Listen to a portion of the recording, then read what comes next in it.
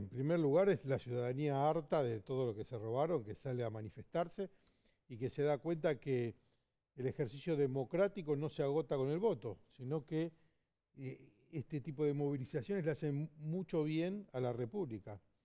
Yo particularmente, como, como usted señaló, eh, lo viví en carne propia, la movilización de la gente, eh, las firmas, la gente que estaba ahí en multitudes en la puerta de mi juicio, este, tuvo un efecto muy importante para que yo pueda volver a trabajar, para que yo pueda volver a mi despacho.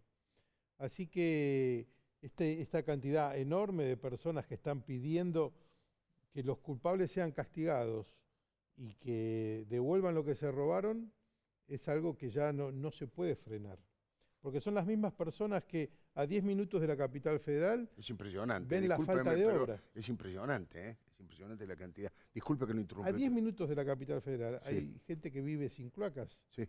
y ve la falta de obra claro. y se pregunta qué pasa. Ahí, eh, eh, en esa faltante, está la plata que se robaron. La plata que robaron. Quiero